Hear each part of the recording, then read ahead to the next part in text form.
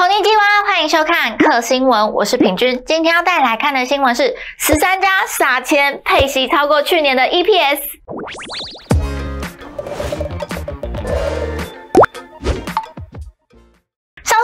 司去年的财报出炉啦，股利配发题材升温。截至目前已公布的股利政策，股息高于五元的个股中，联发科、瑞影、统一超、东和钢铁、信景等十三家上市贵公司现金股利超越去年的 EPS，凸显加发现金股利带动高值利率题材，吸引法人跟短线的买盘青睐哦。显示该十三档高现金股利题材股呢，以三月三十一日的股价计算，正生、东和钢铁直利率都有达到九趴以上哦，超过八趴的则有神盾、永固、联发科、创建、富林 KY 等，直利率超过五趴的还有轩玉、信景、一零四、瑞影、祝龙等。将以上资讯提供给大家，大家还想知道什么呢？欢迎在底下留言告诉我哦。祝你们连假愉快，可心我们下回再见，拜拜。